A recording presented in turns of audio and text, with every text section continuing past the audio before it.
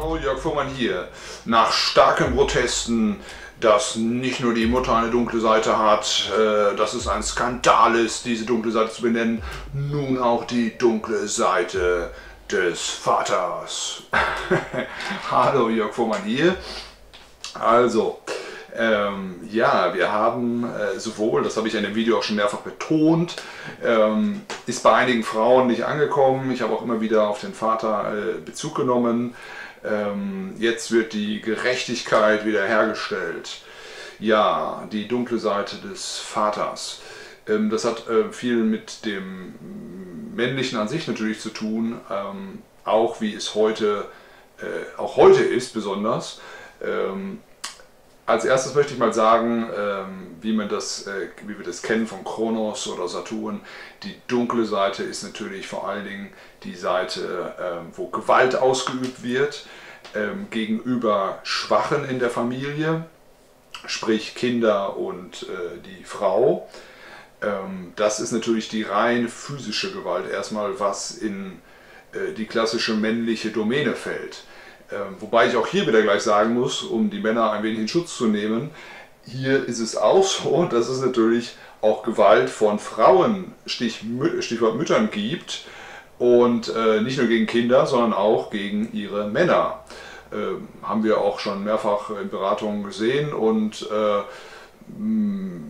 ich kann mich gut an verschiedene Sitzungen früher erinnern, wo das äh, auch in verschiedenen Institutionen immer wieder mal Thema war. Es ist ein viel größeres Tabuthema äh, als umgekehrt. Ist auch noch ein Tabuthema, die Gewalt von Männern gegen Frauen, aber zunehmend weniger. Ähm, aber Männer werden natürlich, Männer werden ja auch Opfer von Vergewaltigungen, auch durch Frauen. Ist auch ein riesen Tabuthema, weil das noch für Männer natürlich noch schambesetzter ist, oftmals als für Frauen. Gut, also das nochmal dazu. Ähm, aber klar, wenn ein äh, Mann äh, zur Gewalt neigt, äh, dann ähm, ist natürlich alleine aufgrund der äh, Masse, des Körperbaus, der Muskulatur ähm, für alle anderen Schwächeren im äh, Umfeld äh, ja einfach die, die, Gefahr deutlich größer in der Regel, als wenn es bei einer Frau der Fall ist.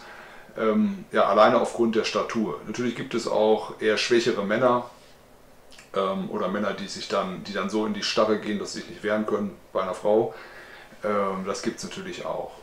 Ähm, ja, das zieht sich also durch äh, bis zu der Zeit zurück, als äh, ja, diese Versteppung kam, äh, Saharasia und die ähm, die Stämme, die, die Jäger- und Sammlerstämme dann eben aufgebrochen sind äh, oder die sesshaften Kulturen damals schon dann aufgebrochen sind und andere Gebiete erobert haben, als dieser patriarchale Geist entstanden ist oder sich dann eingeprägt hat äh, und man angefangen hat, eben diese kriegerischen Götter zu verehren. Äh, ich würde sagen, bis dahin geht es zurück und es ist natürlich ein ganz wesentlicher Teil äh, auch des patriarchalen Dogmas, dass eben ähm, dieser männliche Geist dann eben halt äh, Druck, Gewalt ausübt, äh, über, über Macht eben und äh, zur Not wird dann eben halt äh, gesteinigt oder äh, haben wir heute noch in manchen Kulturen einen Scheiterhaufen aufbaut oder sowas halt. Ne? Ähm, genau. Aber auch da muss man wiederum sagen, wir wissen das zum Beispiel aus Konzentrationslagern und so, da sind die Frauen auch, wenn sie die Möglichkeit hatten, das zu tun, extrem pervers daran beteiligt gewesen. Ähm, genauso wie bei den äh, Verfolgungen hinterher, äh, zum Beispiel ähm, im Sudetenland der Deutschen, äh, da waren also die einheimischen Frauen haben sich da äh, nichts äh, getan von den Männern. Das war also auch bestialisch, was die da äh, gemacht haben dann äh, mit den Deutschen, die da vertrieben wurden. Es gibt genügend Beispiele in der Geschichte, die immer wieder letztendlich auch zeigen, dass diese Dinge für beide Geschlechter zutreffend sind. So, ähm, um mir nicht gleich den nächsten Shitstorm wieder von Männern einzufangen, obwohl das glaube ich eher nicht passieren wird. Das ist eher so ein Frauenthema, dass wenn jemand Frauen kritisiert, dass äh, Frauen das dann nicht aushalten können, habe ich den Eindruck. Ähm, weil eine Frau ist ja immer per se das Gute. Ne? So. Also die Männer äh, haben heute vor allen Dingen auch ähm, ein Thema mit natürlich dem Mannsein an sich, ja, äh, weil das äh, immer unschärfer, unklarer wird, was macht ein Mann eigentlich aus. Und die, den Männern fehlen natürlich ganz stark auch die initiatischen Prozesse. Ähm, das fehlt Frauen anscheinend weniger, weil sie, wie die alten Kulturen häufig gesagt haben, schon von der Natur her äh, initiiert werden, obwohl ich das auch zunehmend mehr in Frage stelle, ähm, weil dieses, diese Erdverbindung haben ja viele Frauen auch gar nicht mehr. Und das führt dann eben zu, zu Männern, die Alternativen suchen ähm, äh, im, im, Sinne der Sinnerfüllung, äh, eines sinnerfüllten Lebens. Äh, Männer, die im Außen irgendwie äh, zu Hause sind und nicht bei sich selber ähm, die äh, sich mit, dem, e, mit, diesem, e, mit dieser Ego-Identität identifizieren oder überidentifizieren, ähm, über Status, Auto, Konsum, ähm, ja, die vielleicht auch dann nur auf dem körperlichen, äh, fix, aufs Körperliche fixiert sind, auf den Intellekt fixiert sind und die Emotionen komplett abgeschnitten haben, ähm, die, die, für diese feineren Dinge des Lebens äh, äh, die dafür keinen Zugang haben einfach. Ähm, die alles verlachen, was irgendwie äh, nicht ganz in ihre vielleicht linear-kausale Denke, in ihr naturwissenschaftliches Weltbild etc. reinpasst. Die also im Grunde am Sinn des Lebens quasi vorbeirauschen ähm, und dabei noch äh, eine Pulle Sekt aufmachen oder Bier oder was auch immer und sich das reinschütten ähm, ja, die einfach irgendwie ein stumpfes Leben führen. Ja, das, ist, das ist auch eine dunkle Seite, weil viele Männer kompensieren diese innere Leere, diesen Hohlresonanzraum ja, äh, mit Alkohol oder eben mit extremem Sport. Also das sind dann eben die Menschen, die dann äh, ihren Kindern eben vorleben, du bist nur gut, wenn du was leistest, sonst kriegst du hier keine Anerkennung. So, und da findet also auch ein enormer emotionaler Missbrauch statt. Und äh, das hat natürlich ähm, dann auch wieder viel mit dem Thema zu tun, äh, wie, wie man als Mann dann in der Partnerschaft ist. Ob man ähm, eben auch auf diesen weichen Ebenen einen, einen Zugang zur Partnerin oder äh, äh zu seinem Partner kriegen kann. Ja, also das ist ja, ähm, ja, das ist ja da auch ein großes Thema in der Beziehung häufig, habe ich den Eindruck. Und ähm, Viele Männer haben auch äh, dahingehend ein Thema, das äh, sprach Jung schon an, vom ewigen Jüngling, also die nie in, in so ein Standing reinkommen, für sich als Mann einen Raum äh, in Besitz zu nehmen und da den Raum zu, auszufüllen, zu tragen, zu halten, den Raum. Und das suchen ja viele Frauen oder Partner, also die, die, die Lebenspartner des Mannes suchen das ja und die Lebenspartnerinnen, ja, diesen Raum, äh, äh, der gehalten wird, auch wenn es mal emotional wird oder tief gehen wird oder eng wird.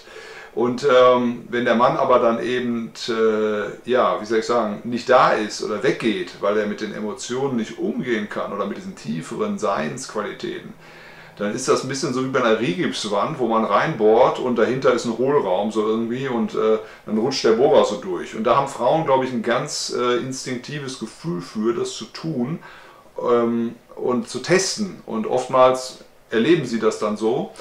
Ähm, und dann wird es eben eng. Also dann ähm, kommt es häufig auch zu Konflikten, die vielleicht gar nicht notwendig wären, wenn der Mann mehr standhaft wäre, im, nicht im sexuellen Sinne, sondern eher im emotionalen, im seelischen Sinne.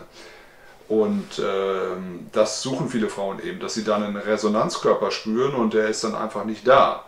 Und das bringt natürlich auch enorme Spannung in die, in die Beziehung äh, und dann hinterher äh, vielleicht äh, auch in, in das Thema Schwangerschaft oder so, äh, nach der Geburt dann auch mit den Kindern.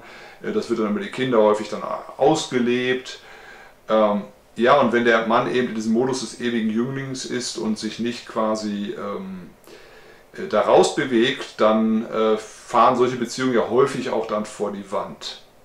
Hat natürlich auch andere Gründe, die sind auch wieder auf der Seite der Frau dann zum Teil auch äh, eben äh, zu sehen und zu suchen. Natürlich ist es immer eine Mischung von beiden, aber man kann auch immer mal so Schwerpunkte dabei, denke ich, sehen und setzen.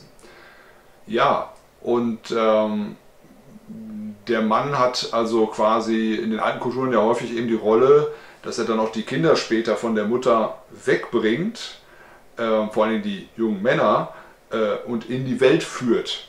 Also aus diesem sicheren äh, Uterus, quasi des mütterlichen, der mütterlichen Sphäre raus in die Welt bringen die Kinder. Und ähm, wenn er dazu nicht in der Lage ist, weil er sich selber zum Beispiel vor der Grausamkeit der Welt fürchtet oder ähm, ja, weil er eben selber nicht das Gefühl hat, er ist äh, Mann geworden, sondern eben Jüngling geblieben, äh, der Rundumversorgung von was auch immer, dann, ähm, dann fällt er da raus, dann ist er nicht da, also als, als eben dieser äh, Resonanzkörper und für die Kinder. Und das ist natürlich fatal, das erzeugt quasi so einen Staffellauf nachher, äh, wo das dann von einer Generation auch an die nächste so weitergereicht wird. Genau wie das natürlich bei so einer äh, Gewalt äh, oder, oder bei so schlechten äh, ähm, Notfallstrategien wie Alkoholkonsum oder Extremleistungssport oder Workaholismus gehört da ja auch zu, auch der Fall wäre. Genau.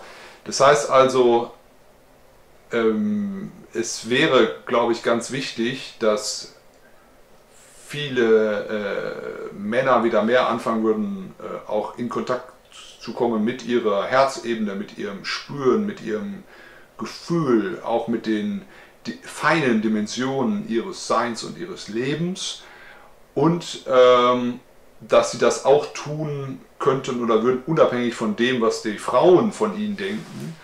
Ähm, das äh, machen Männer ja mittlerweile immer mehr auch dass sie sich ausschließlich daran orientieren, was Frauen von ihnen denken und wollen. Und die Medien suggerieren das ja auch häufig.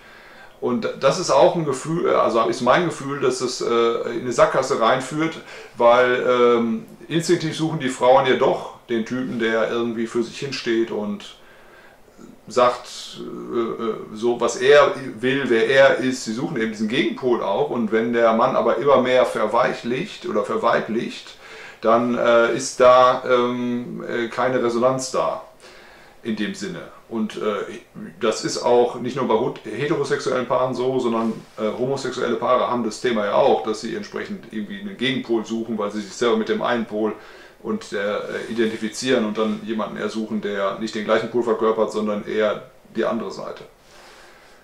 Ja, also ähm, ich glaube, es geht summa summarum darum, äh, ein Stück weit die eigenen Wunden anzuschauen, ähm, sie äh, ja auch aufzuarbeiten, den Schmerz zuzulassen, die Emotion zuzulassen und die, ähm, auch die ganzen Überaktivierungen, die dann im Nervensystem und so weiter dann raus resultieren, die auch äh, zu integrieren und ähm, ja, und vielleicht auch zu schauen, was ist mit meinen Vorfahren passiert und so weiter, weswegen ich dann jetzt so eine epigenetische Struktur in mir habe und ständig abfahre.